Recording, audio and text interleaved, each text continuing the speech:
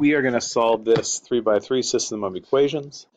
And I'm going to write it as a matrix. So 3, 6, 5, 1, 2, negative 9, negative 5, negative 2, hello, negative 2, and then 1, 3, 5, 0. So I'm going to make some zeros. Uh, I think making them here and here should be pretty easy. So I think first thing that I'll do is uh, I'll just add row 1 to row 2 and put that into row 2. I'll get rid of this.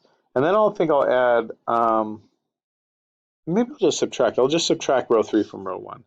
So row 1 minus row 3, put that into row 3. I have a lot of options. Those are just the ones I chose. So uh, first row is unaffected, so 3, 6, 5, 1. Second row, row 1 plus row 2, so 3 plus 2 is 5. Uh, 6 plus negative 9 is negative 3. 5 minus 5, that's 0. 1 plus negative 2 is negative 1. And then uh, next thing I'm going to do, row 1 minus row 3. So 3 minus 1 is 2. 6 minus 3 is 3. 5 minus 5 is 0. 1 minus 0 is 1. Great. So now what I can do, I have these two zeros. I'm going to make a 0 here. And what's nice, I can just add row 2 and row 3 together. Row 2 plus row 3. Throw that into row 3. So Second row is also unchanged. Third row, 5 plus 2, that is a 7. Um, negative 3 plus 3 is 0. 0 plus 0 is 0. And negative 1 plus 1 is also 0.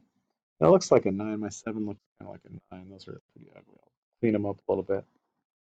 So, um, this is not a no solution situation. This is saying 7x equals 0. So that means that x equals 0. Great, so I can plug it back into here then.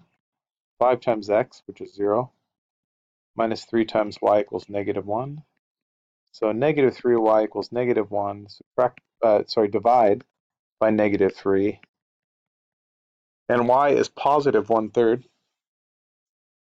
Great, so then I'll plug those both into this one, see what I get. Uh, 3 times x, x is 0 plus 6 times y, which is a third, uh, plus 5z equals 1. So that's a 0. 3 plus 5z is 1. Um, I'm going to then do a little bit of subtraction. Oh, no, uh, sorry. Uh, 6 times a third is 2. Uh, I'm still going to do a little bit of subtraction. 5z equals negative 1 divided by 5 z is negative one fifth.